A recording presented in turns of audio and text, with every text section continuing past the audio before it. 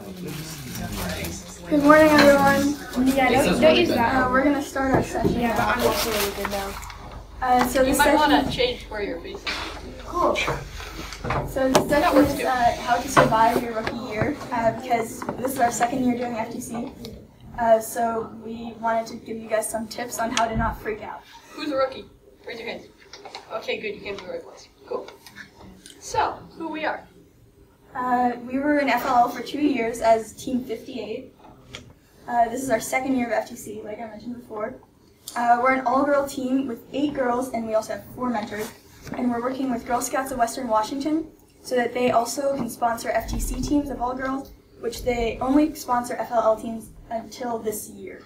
Yep. And we're team 11104 Bearded Pineapples. My name's Madeline. I mean, we program our robot and prowl on Reddit. And Um, my name's Fritzy, and I kind of do a little bit of everything, but I do a lot of notebooking. yes. So, competition day. So uh, there's a lot of politics in being picked in the game. I don't know how much you guys have read on uh, Game Manual Part 1 and 2 on how it works, um, but generally you're going to want to do some scouting so that you know what the other teams can do, um, so that you know what would be an asset to your team's uh, abilities. And if you have, if you have no idea what this means, if you uh, there's elimination matches that are played, and then given all the points that you've accu- accumulated from that, there's an alliance selection where the top usually four teams get to pick who's going to be on their alliance with them. They pick three other teams, and this is when you really need to get to know the other teams and get to know their robots, see if you can work well to them. There's some scouting, scouting happening right there, so that because if people, if people don't know you, then they can't pick you. What's also good is to have a diagram of the field showing with arrows where your robot goes on the field so that it's a visual for other teams to see as well, so that you're not going to run into each other in autonomous or something.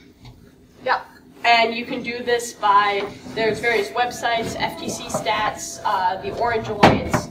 There's lots of these where you can see um, kind of quantitative data about teams from different uh, uh, from different competitions. But oftentimes it's much more helpful to just walk over to their pits and competitions and talk with the team. You know what's worked, what hasn't worked, and if you have a larger team, you can also have people watch the matches day of to see, hmm, well, did their did their lifter actually work? Did did it grab? Are they doing the exact same thing? Would that have issues with our robot? Things like that. It's also good to just meet teams at all sorts of events, do scrimmages, uh, get to know other teams. Uh, there's also, which is not, uh, if you come from FLL, you probably wouldn't expect this, but in FTC, there are robots that are going to try and run into you or prevent you from getting places. It's kind of less likely this year because they've kind of tightened up the rules, but it might be applicable in following years. Yeah. So you should always be prepared to be. Um, uh, ob- obviously, you shouldn't be planning on doing uh, aggressive driving, right? But you, there's always some robot that goes haywire or something like that, or chalks out and starts going crazy. So you should, your robot shouldn't be so flimsy that uh, if it's bumped, it breaks because it won't succeed in competition then. So um, there's different events, right? Different levels of play.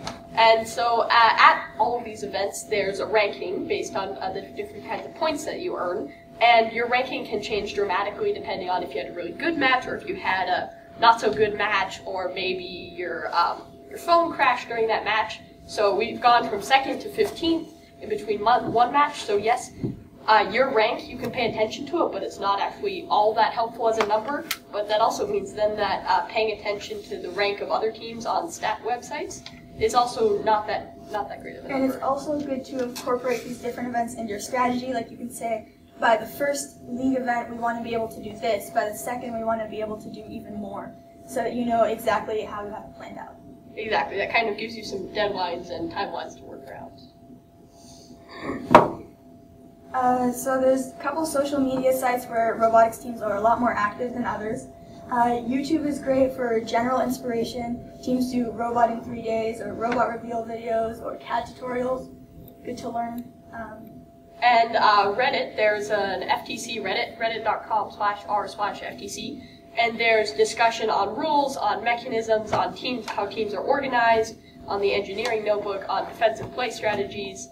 Uh, there's a lot of activity on that, and if you have a super specific question, people will generally answer that. Or if you're like, help, I need help, I need help with my mechan- mechanism wheel code, it's not working, you put a link to your GitHub and people will immediately start helping you with that. So that's a great resource. Uh, Twitter seems to be the most popular social media. There are also teams on Instagram and on Facebook, but Twitter is really where I found the most teams.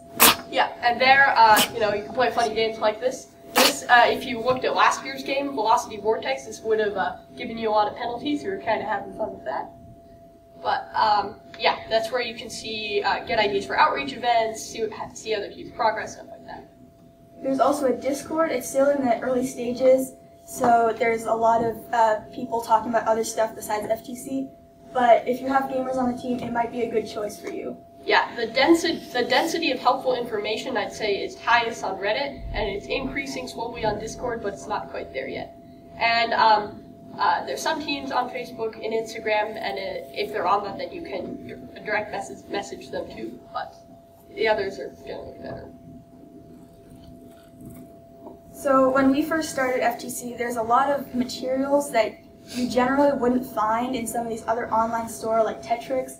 Um, so one example is like dual lock and Velcro, which we actually use to mount our phones and some of our hardware, uh, some of our uh, electronic components onto the hardware of our robot. If you haven't done FLL, dual lock is basically plastic Velcro that yeah that you stick the mission models onto the field down with, and that is actually very was very helpful. And uh, for example, this polyurethane belting here, the you can't see that, the red stuff. Um, we actually saw that here. Uh, we came to this workshop last year and saw it in um, Redshift's uh, workspace, which is very cool. And then we got we ended up using that on our intake mechanism. Uh, there's also surgical tubing. It's the yellow stuff on the screen. Uh, it's like uh, rubber band, I guess. Um, yeah, it's very stretchy. And You can use it great for fingers or things like that. We used it to. Um, uh, we had two uh, spinning flywheels to shoot our wiffle balls, and we used it to make sure that they uh, that, that there was tension between them. Actually. You use it like a conveyor belt. Exactly. And we used acrylic for our side shields as well, and we also 3D printed our phone case, and I believe another component, and uh, you can use your laser cutter to laser cut prototypes or things like that. And if you are like, what, what are these machines? We don't have access to these. You can um, Oftentimes, uh, large companies will have uh, maker spaces that, uh, if you know an employee, you can use. Google and Microsoft will definitely give their uh, employees access to maker spaces. And also, I, I believe uh, there's also Swerve um, in Woodinville that you can also, and also if you reach out to a lot of engineering companies or uh, metal workshops or places like that, people are more than likely to give you help. So when we started, we were like, well, you can use a kit, but you can pretty much use anything you want. Where on where on earth do we buy all this stuff? So um, it's normal to keep ordering parts. When we were uh, doing last year's season, we were ordering parts almost every single week. Even though at the beginning we were kind of shy about ordering parts, we really started ordering a lot of parts. Um, there's all sorts of sites you can order from for different things. Yeah, um, Rev this year, that's where you'll probably be getting your expansion hub, which will be the electronics, right? Uh, Vex and Actobotics both offer kit parts. Um, uh, DigiKey and Adafruit are really good for finding specific electronics parts if you want them. Uh, AndyMark will sell a lot of your wheels, and of course you can find a lot of stuff on Amazon. Outreach. So uh, it's important that when you're doing outreach, you really know who you're trying to target with your outreach you don't just want to stand there and show your robot and tell people about the program. You really want to make sure that they know how to get to the program if they're interested. Um, so it's also good to reach out to other teams to join you, so you could possibly play matches with other teams, uh, better visual than just one robot. Yes, and um, so when we mean by think about your target demographic, so this is a photo from Seafair recently, and you can't see it, but in the shade back there, there's several FRC teams, so huge robots, and uh, another FTC team saluting us hat. And this was uh, an event organized by First Washington, and they had this was a tent at Seafair, so they had you know just normal people coming to Seafair that would walk through, and they would get to see these robots and drive some other ones. But then we also had um, superintendents from a lot of uh, Washington school districts that don't have uh, First Robotics at their schools yet, come through. And so it's you're naturally going to talk to a superintendent differently, who's probably more interested in uh, how this kind of project-based learning is going to affect their classroom and their students, and how you're going to fund this than you're going to um, a five-year-old passerby who's interested just in your robot, that kind of thing. So you really have to think about who you're talking to in general. Uh, opportunities. So make sure you just jump at all opportunities that are available. Oftentimes, uh, if somebody's like sending out an email asking for teams to do outreach with, uh, they're not going to wait that long for you to respond. Other teams are also going to want this opportunity, so you want to respond Yeah. right away. And this is where we uh, were able to kind of net- network with a lot of teams. So this is a photo here from a scrimmage before Super Regional. So we're this team here. Uh, we were not going to Super Regionals, but everybody else was. But we were invited as well to help team scrimmage. So that was a really fun event, and people talked about their notebooks and everything. So um, even if it's you know not completely applicable to you, you should still go because you can always learn a lot, and it's always great to know for the next season. Uh, ESD, uh, or electrostatic discharge. It's a high voltage discharge, um, and when since these all of these electronics on the robot have small components, the small shocks can vaporize part of the material, which is a problem when you're trying to run your robot on a field. It's like if you've ever gone down a plastic slide on a um, on a playground and then you stand up and then you poke somebody and you shock them. It's like a mini lightning bolt. Well, this can happen with your robot too, and if you're not careful, then it'll just fry your robot and you'll be sitting there and you can't do anything. This happened This has happened us. right there, hence the look of disappointment. We had uh, at our first interleague event, it was pretty bad, and our robot basically never lasted the entire match because at some point it would black out, and the Wi-Fi connection between the two phones would fail, and the robot was just kind of sitting there and it couldn't move. Yeah, but we later fixed it, and there's another photo where I am literally levitating. I'm so excited. So, and um, so th- this was more of an issue last year because of the modern robotics electronics, which are, there was tons of separate modules all connected by USB. And if, if you don't know this, USB is not great for this because you have to 3D print your own protectors so that uh, all the USB cables stay in place. And tips you could do, uh, things, but this year, the Rev expansion hub, there's really only one USB cable from the hub to the phone. So that should help things a lot. Another thing you can do is you can, uh, you can make sure that all of your, um, that all of your uh, wiring is secure and that it's not uh, mounted on conductive surfaces. You can mount things on wood. You can make sure to 3D, 3D print little um, protection gaskets, I guess, for all of the ports. Uh, there's also some less conventional methods, like uh, using, uh, it's called like uh, anti-static spray, like uh, staticide, or uh, dryer sheets to just like spray it on your robot or rub it on your robot's wheels. Uh, That generally helps. kind of helped. And then another thing you can do, I also um, uh, ESD gets worse in colder places. So if you can keep where you work colder, then uh, that will, um, you know, you'll be able to practice in worse conditions. This is actually a bigger issue in Washington than other places because our state championship is held on an ice hockey rink. So that's uh, I that I hypothesize that that's why uh, Washington teams generally seem to have more ESD problems than others. Oh well, how to avoid them? Kind of just mentioned that. But as you can see here, we have uh, wooden side shields right there. Um, what kinds of wheels you have will gener- will uh, will also make ESD better or worse. Um, You can also use electric tape to cover exposed metal so that it doesn't conduct. Yeah, and yeah, just keeping your cables neat that helps you with all dimensions all the time because uh, yeah, if you can quickly identify where your uh, wi- wire is loose, Oh, it also says that Yeah. we hope ESD will not be a problem, but we had an outreach event yesterday, and every single time we touched the robot, it did shock us, so it might be a problem. Yeah, but that might also be a problem with our system and not with that. So ESD is always a problem, but you can try to make it uh, less of a problem. Good. Yeah. If you're feeling overwhelmed because it's your rookie year and you're like, these people are here, they're talking to me about things that I have no idea about, help. Uh, Kanban is a really great way to organize your tasks. uh, this is our revised Kanban board. It's like our second or third version. Uh, so we have all sorts of columns. We have in progress, uh, it's right there, um, backlog, long term and short term.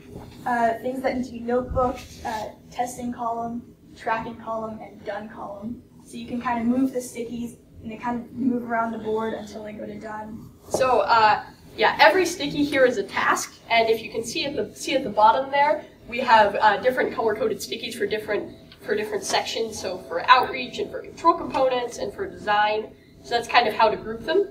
And the way that a sticky moves across our board is that it'll start either in the dream log, so that's where you know some of our more ridiculous ideas go, but it'll start in that uh, three sticky wide column, which is the short-term backlog. So that's like I don't know, apply to that PTC grant or connect the two Rev hubs together. And then we'll start every meeting by deciding, okay, do we need to write more stickies, and, or do we just need to move stickies over into the in progress column? And once something has been completed, then it immediately goes to to notebook, which means that we need to write, document what we've done in the notebook. You can tell that's kind of full right now. We're a little behind, but and then once that's done, it goes to the done column on the far right. And then that uh, that column full of yellow stickies right there is in track. So like we contacted somebody but they haven't gotten back to us, or we've ordered these LEDs but they haven't been shipped yet. This like is that. great because you're not going to forget your tasks. They're on the board.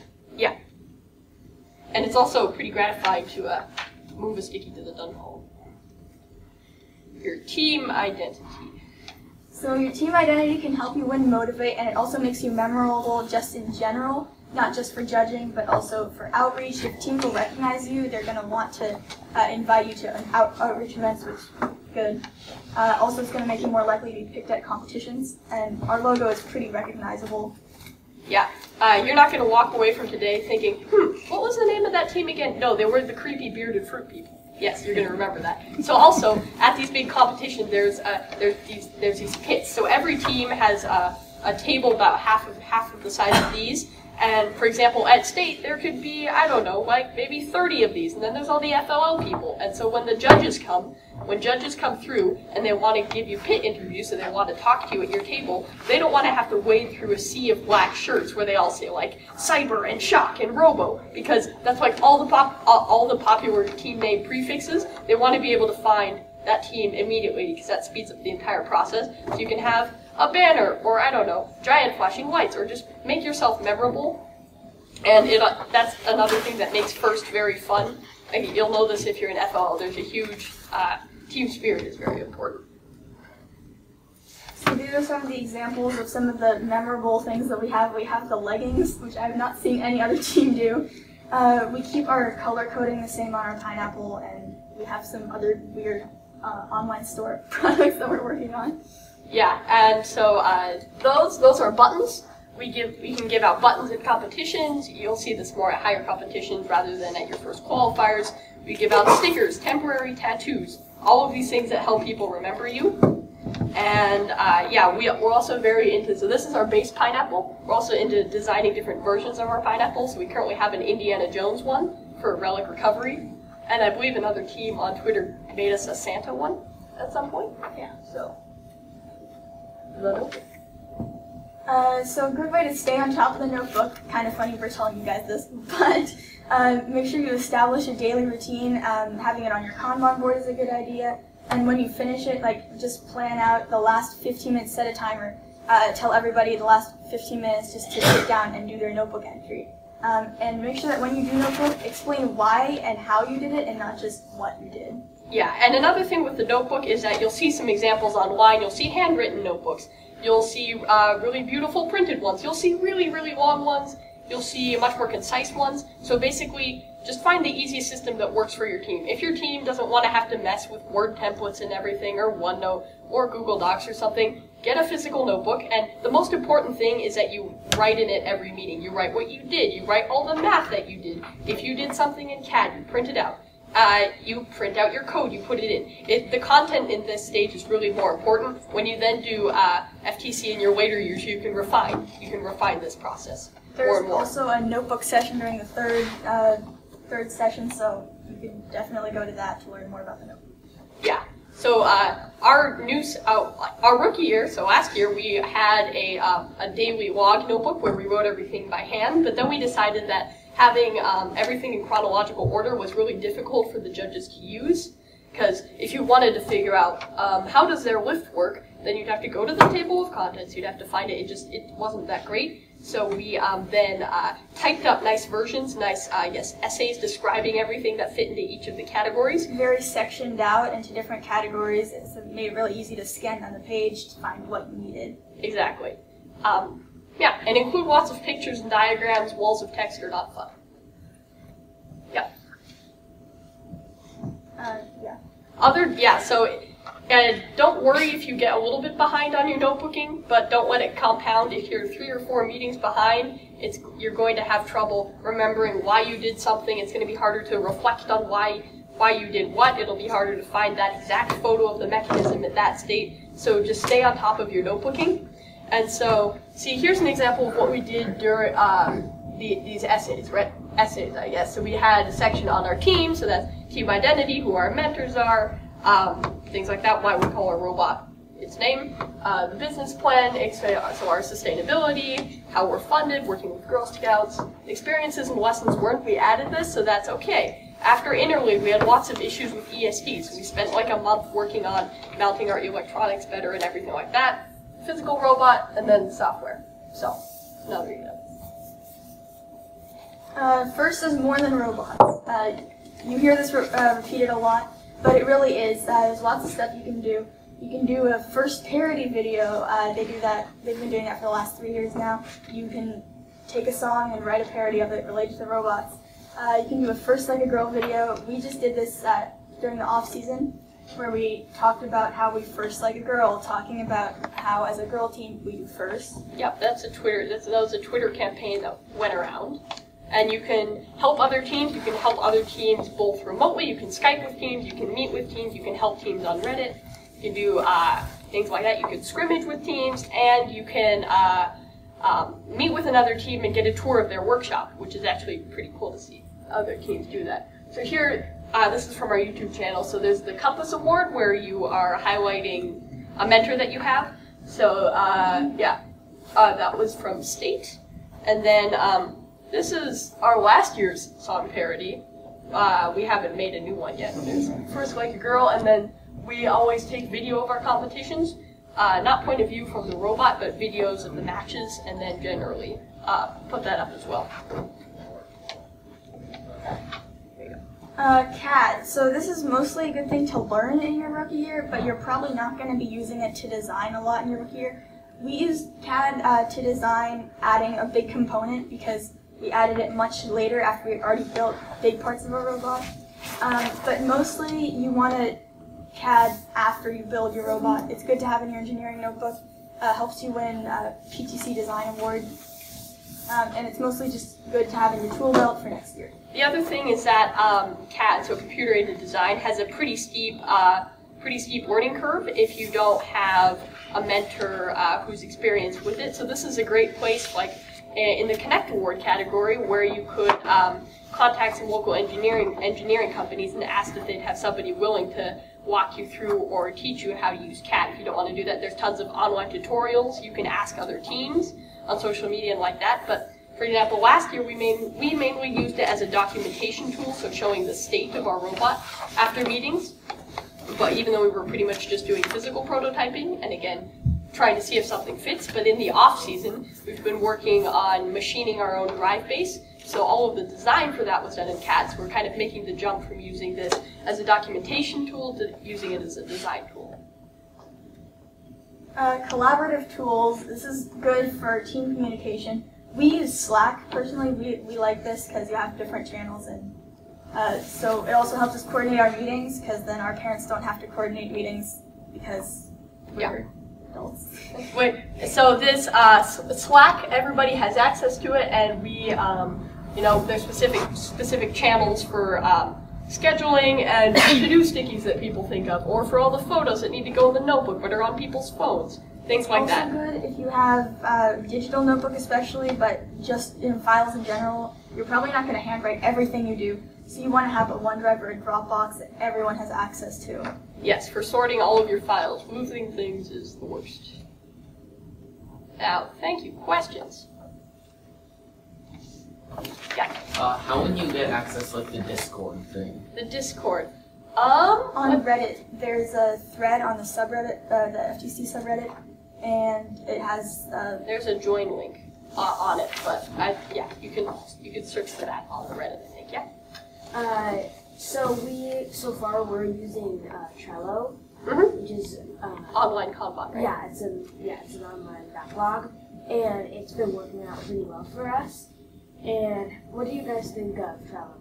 Uh, I pers- our team personally doesn't have experience using Trello. We we just kind of decided to use the physical the physical version. But you know there are issues when we turn on the shop vac to clean up uh, uh, aluminum aluminum dust. You know sometimes all the stickies fly off the board, things like that. But I, I imagine that that could be very helpful for linking documents or assigning tasks to people. So that allows you more degrees of complexity in your board. But I personally think it doesn't really matter what you use, it's that you use it and that you use it effectively. But so if you found, got Trello working for you, then that's great. If you can if you can use it and stick with it.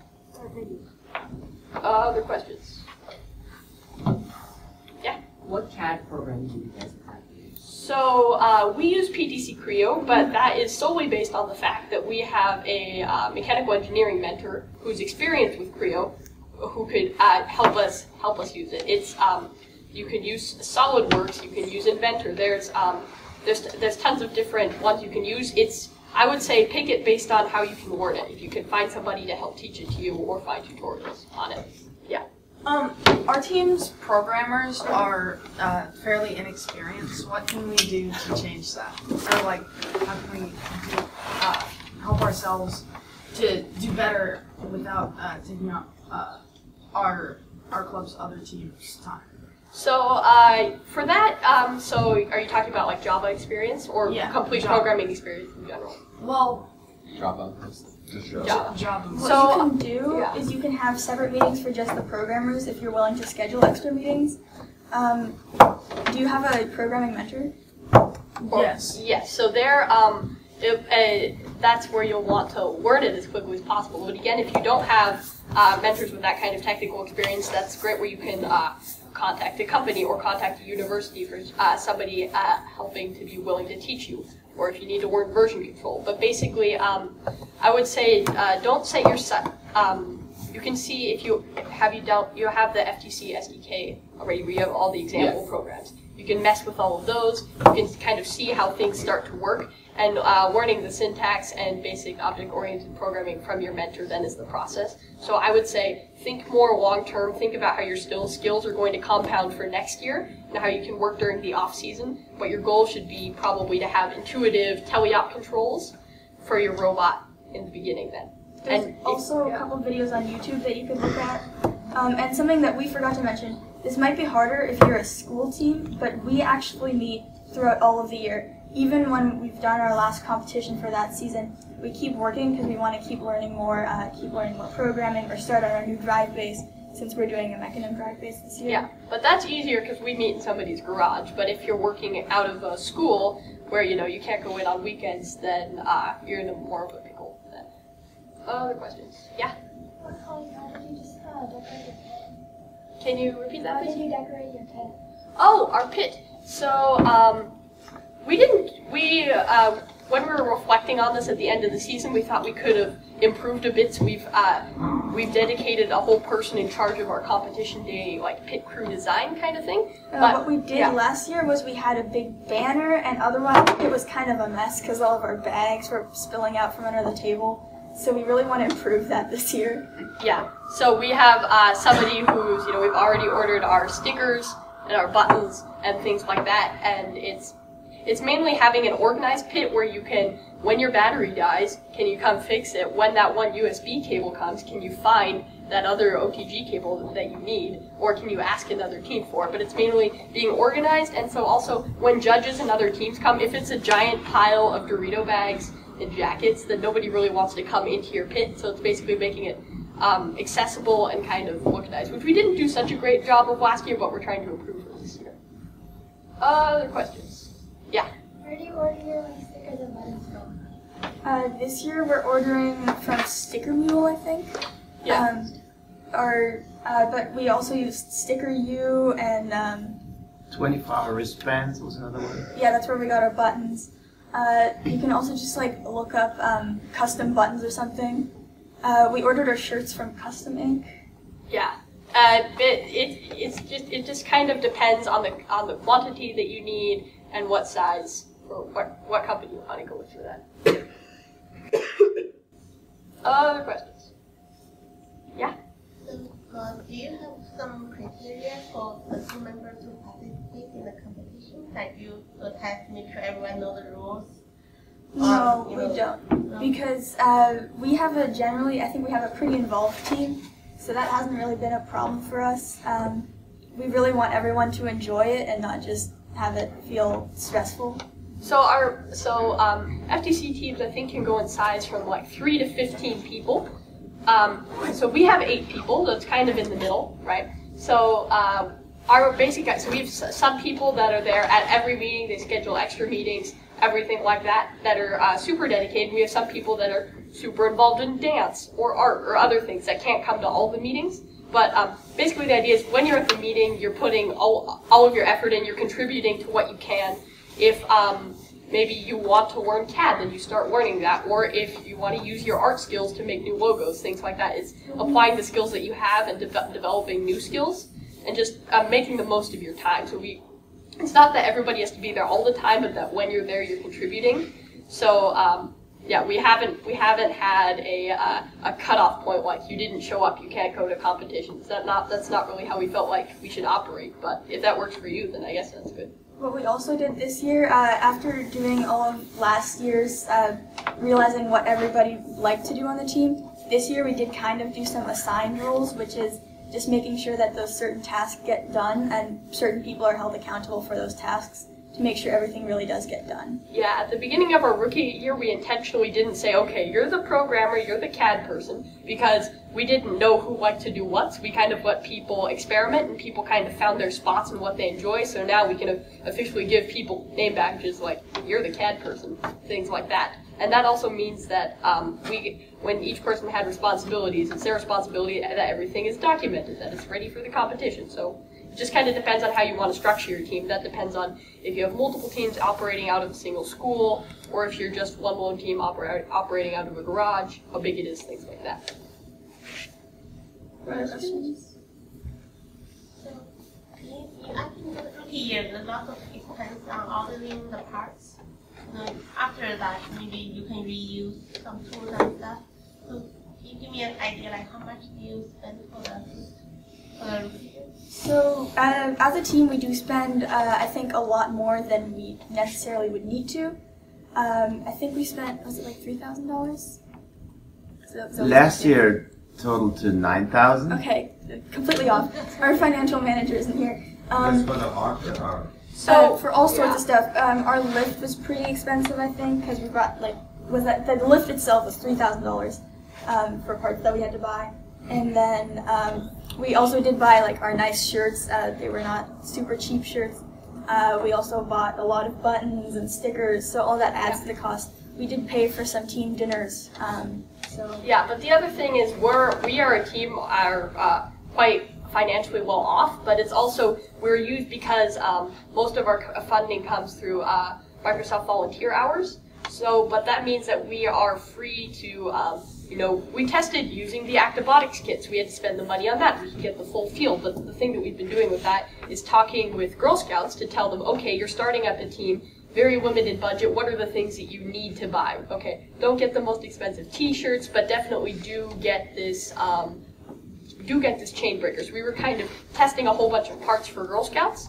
And another thing you can do is apply for grants and sponsorships. That would be up on the First Washington website.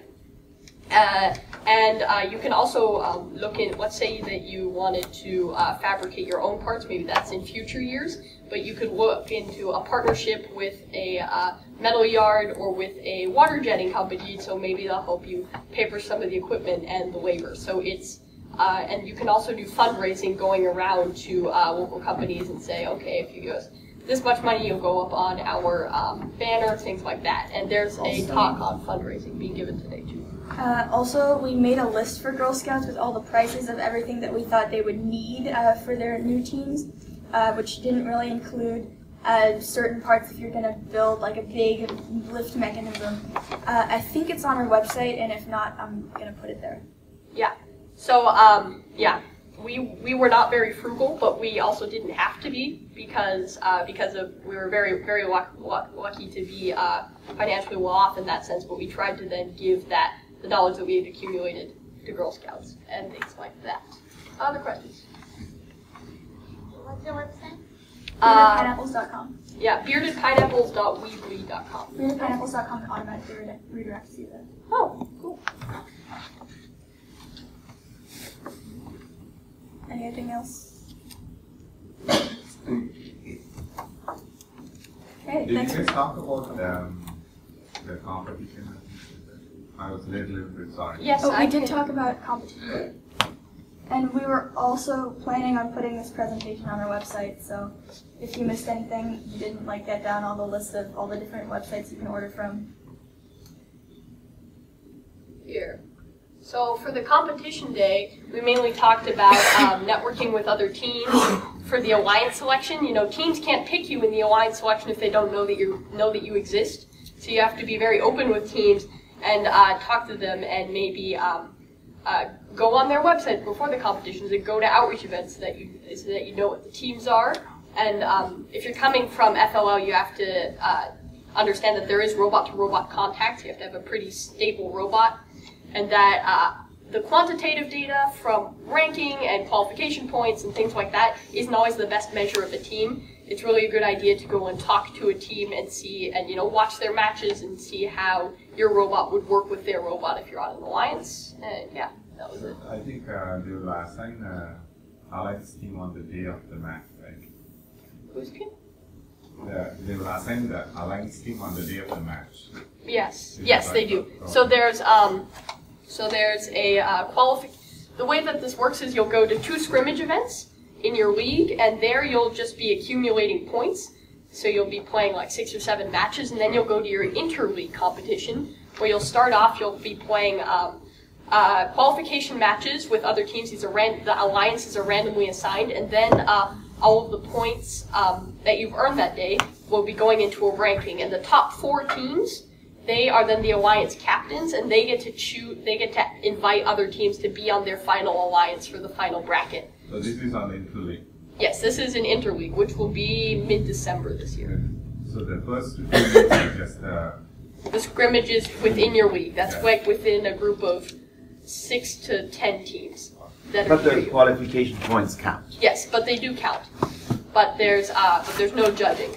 oh, That so. Yeah, judging is only at interleague, which would be your third event, and it's gonna be for our uh, league. It's like uh, in December, Yes, right no, during the- winter break. But All of the interleagues will be on either December 16th or the 17th.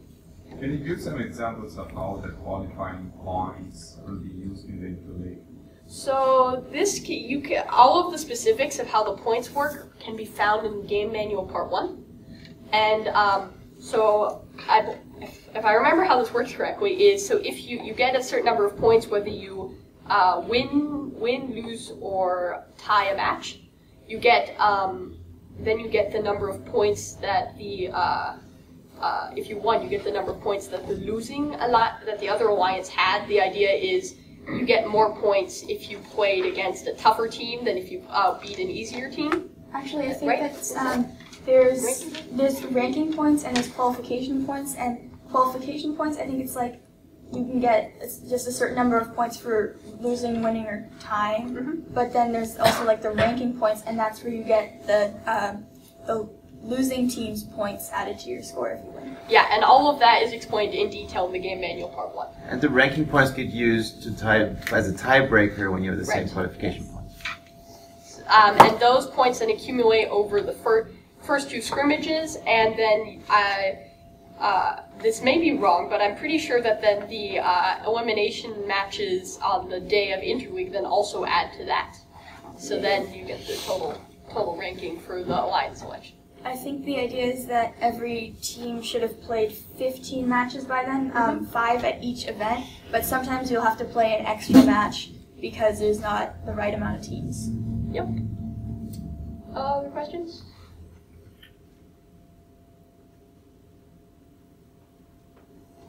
Awesome. Thanks for coming.